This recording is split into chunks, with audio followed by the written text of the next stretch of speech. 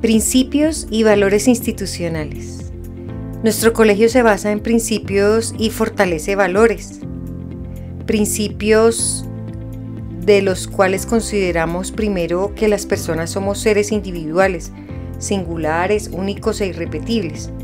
Segundo, que somos seres sociales y de convivencia. Podemos pertenecer a una familia, a una comunidad, ciudad, nación o universo. Tercero, somos seres culturales, generamos identidad, sentido de pertenencia y nos organizamos en ambientes que incluyen creencias, hábitos y costumbres que compartimos con otros. También somos seres históricos, tenemos un pasado que nos permite comprender mejor nuestro presente y proyectarnos al futuro. Y seguimos principios sociológicos, entre los que se cuenta la participación Sabemos que los procesos educativos se fortalecen con la participación tanto de nuestros estudiantes y sus familias como de nuestros educadores y diferentes instancias de nuestra sociedad. La concertación es un principio ineludible en nuestro colegio, pues llegar a acuerdos es un fundamento de nuestra convivencia y de nuestro bienestar. Reconocer la diversidad es fundamental e imprescindible, pues las personas somos diferentes y por eso mismo todos somos muy valiosos y necesarios responsabilidad ambiental. Los seres humanos no somos los únicos en este mundo y por el contrario necesitamos de todos los demás seres y de cuidar el ambiente en el que vivimos. Por todo esto el colegio se esmera por fortalecer las competencias ciudadanas y se expresan en la capacidad que debemos desarrollar todos para mantener el buen trato, las buenas relaciones y el beneficio para todos al convivir en sociedad. Principios epistemológicos. En nuestro colegio sabemos que aprender y construir conocimiento es un proceso complejo que se puede facilitar si se siguen los siguientes principios. Interdisciplinariedad. Los docentes a cargo de las diferentes áreas o campos del conocimiento pueden interactuar en el desarrollo de proyectos pedagógicos o de aprendizaje, uniéndose para dar soluciones a problemas concretos o necesidades específicas. Transversalidad las capacidades esenciales tales como pensamiento crítico, convivencia, comunicación asertiva y realización efectiva, entre otras. Pueden ser desarrolladas en forma transversal en todos los grados escolares, áreas y campos del conocimiento. Comparación de métodos y operaciones. Los docentes, dada la disciplina y en que se formaron como licenciados y las experiencias pedagógicas que han tenido, Pueden hacer intercambios de conocimientos y hacer comparaciones de métodos y operaciones a fin de encontrar alternativas pedagógicas más apropiadas para sus estudiantes. Generación de conocimientos científicos y culturales. La formación integral de nuestros estudiantes nos exige ir más allá de los contenidos curricularmente oficializados, nos compromete en la promoción del comportamiento científico, la indagación, la investigación formativa y el aprendizaje metódico, buscando la apropiación, aplicación y fortalecimiento de conocimientos científicos, tecnológicos, artísticos, deportivos y culturales, siguiendo las respectivas metodologías. Apertura a las diferentes expresiones de la ciencia y del saber. El reconocimiento de la diversidad cultural y de las singularidades de la persona nos lleva a procesos educativos respetuosos, responsables y garantes de la diversidad conceptual en la que se expresa la ciencia y las otras formas del saber propia del arte, el deporte y la cultura. Reconocimiento y comparación de diferentes tipos de saberes y formas de aprender. El colegio es un lugar de encuentro para la diversidad de saberes, las diferentes formas de aprender, los distintos intereses y los distintos niveles de conocimiento incluso entre estudiantes del mismo grado.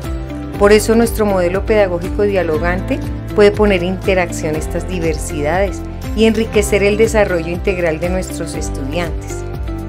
Interpretaciones, análisis, valoraciones, comprensiones y conceptualizaciones. El modelo pedagógico dialogante no se limita a transmitir conocimientos, es esencial la participación activa y efectiva de todos los estudiantes en sus aprendizajes, por ello se diseñan y desarrollan clases muy activas en las que los estudiantes interpretan hechos y realidades, analizan situaciones y problemáticas, evalúan, juzgan y valoran circunstancias, entre otras habilidades del aprendizaje.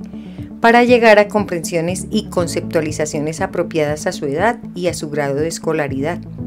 Complejidad y modificabilidad.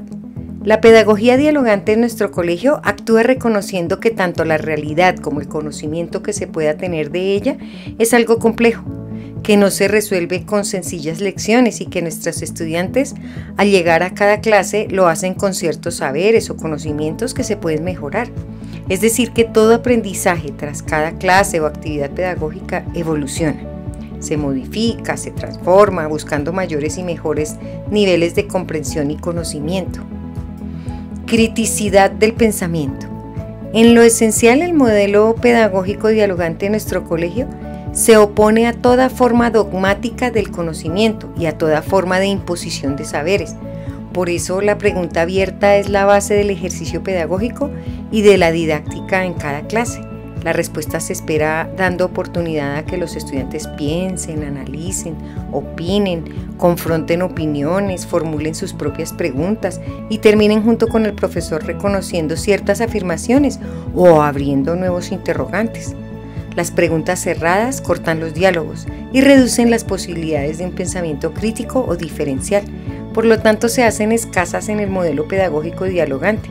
Asimismo, las lecciones instructivas, afirmativas o incuestionables de los docentes. En nuestro modelo pedagógico un pensamiento crítico es el que va más allá de la respuesta esperada y memorización de la misma.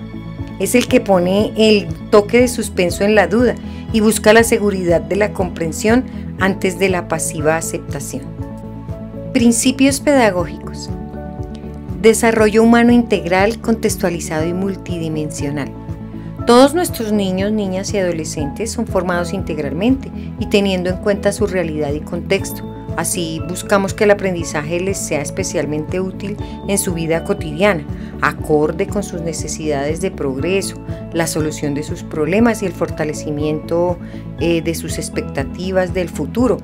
De esta forma, en todas y cada una de las actividades educativas se priorizan las capacidades de pensar, valorar, aplicar y comunicar lo que aprende. Comunicación activa e interactiva responsable, con un PI enfatizado en la comunicación y un modelo pedagógico dialogante, buscamos que nuestros estudiantes demuestren cotidianamente su capacidad para comunicarse responsablemente, haciendo siempre uso de un vocabulario adecuado, conforme a la verdad y recurriendo siempre en primera instancia al diálogo y al buen trato. Enseñanza ejemplarizante. La característica interestrukturante de nuestro modelo pedagógico exige que los adultos seamos un verdadero ejemplo para nuestros estudiantes. Como educadores, los docentes, las orientadoras escolares, los directivos, así como todo el personal al servicio del colegio, está en la obligación de dar el mejor ejemplo en todos los sentidos para la formación de nuestros estudiantes. De la misma manera y por corresponsabilidad, los padres, madres y acudientes tienen el mismo deber interestructuración. Además de ser ejemplo para nuestros estudiantes, los adultos nos reconocemos como parte activa y efectiva de su aprendizaje y reconocemos a los estudiantes también como parte activa y efectiva de su propio aprendizaje. Esto quiere decir que los educadores siempre hemos de tener en cuenta la realidad, necesidades, expectativas, saberes, logros y dificultades de nuestros estudiantes para estructurar y reestructurar las actividades educativas al tiempo que somos los responsables de llevar a los estudiantes a lo mejor de sus capacidades y potencialidades y al logro de las expectativas educacionales de la sociedad y del país. En resumen, la educación en nuestro colegio no es impuesta ni por los profesores ni por los estudiantes, sino desarrollada teniendo en cuenta las necesidades, intereses, expectativas y capacidades de unos y de otros Así construimos juntos una educación apropiada y de calidad humana. Principios éticos y valores institucionales. Responsabilidad. Es el principal valor por el cual todos y cada uno de los integrantes de la comunidad educativa reconocemos nuestros derechos y deberes y actuamos ante todo buscando que se garanticen los derechos de los demás, prioritariamente los de los menores, buscando a su vez dar el suficiente apoyo y exigencia para que los estudiantes puedan cumplir con sus deberes. Respeto, el respeto junto con el buen trato son dos de los más importantes pilares de la convivencia. Saber que el otro es tan valioso e importante como yo me lleva a respetarme y a respetar, a no sobrepasar mis límites ni los límites de los demás para poder actuar conforme al Pacto Institucional de Convivencia PIC. Honestidad es el fundamento del buen actuar, que parte de saber reconocer nuestros aciertos y nuestros errores. Para seguir el camino a la excelencia se fundamenta en la verdad, en darse cuenta de lo que es cierto y anteponerlo a cualquier interés, ambición o egoísmo, para reconocerlo y expresarlo como es, a fin de corregirlo a tiempo. La honestidad nos, mantiene al cuidado de lo que nos pertenece, al tiempo de cuidarnos respetando lo que le pertenece a los demás. Autonomía, superación y liderazgo, el principal propósito institucional es formar personas independientes, interdependientes e íntegras, para ello, desarrollar la autonomía, la superación y el liderazgo implica reconocer estos como valores institucionales y fortalecerlos en cada persona. Buscar con ello que cada quien sea capaz de valerse por sí mismo en cada etapa de su vida y en cada responsabilidad a su cargo. Asimismo, superarse personalmente y atreverse a ser líder en todo aquello que sus capacidades, talentos y reconocimientos lo autoricen. Equidad y justicia Dentro de los principios y fines educativos de nuestro colegio está actuar en equidad y justicia. Esto quiere decir que de acuerdo con las etapas del desarrollo, capacidades y circunstancias de nuestros estudiantes, deben ser tratados y formados para que se comporten.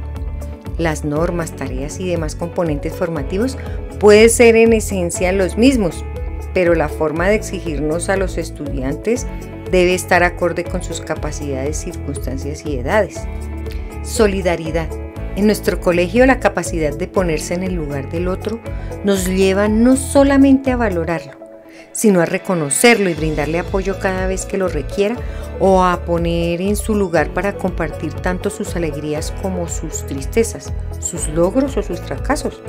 Ser solidario es estar con quien lo necesita en el momento que lo necesita y cómo lo necesita.